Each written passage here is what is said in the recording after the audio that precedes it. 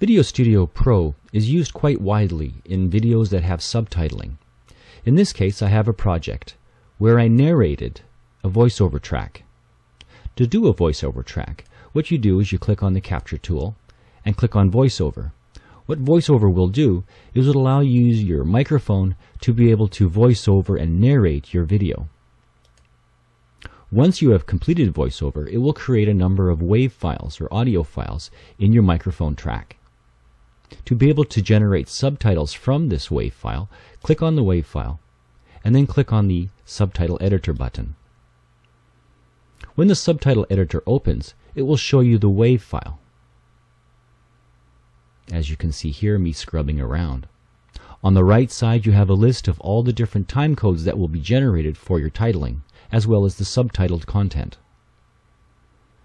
In the bottom part of the screen, you have a transport control to play your video and to jump around and to actually go back to the previous frame and the next frame, and also change your in and out points to refine your subtitling. The voice recording quality really depends on the environment where you took your voice from. In this case here, I have a fair environment with some background noise. If you were in the studio, you would pick best with no background noise. The sensitivity also determines where the, the software will determine where your voice ended and where silence starts.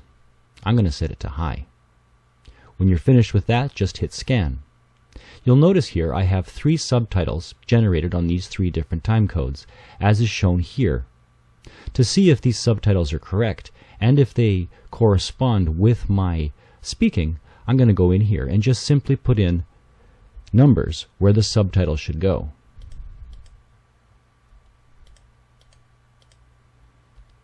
So there I have three numbers. I'll use the transport control to go back to the very beginning of my WAV file and hit play. This is a test of the subtitling function using the subtitle editor. You'll notice that all my numbers worked perfectly in that sense. If I scrub through in my transport control, you can see the orange highlighted WAV file has my subtitle sitting in the top. Once that's good, I can go in and add more subtitling.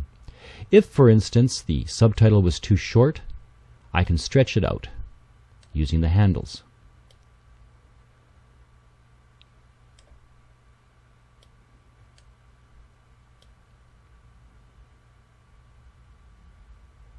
You can add all your subtitles here if you'd like. You can type in the content that you want here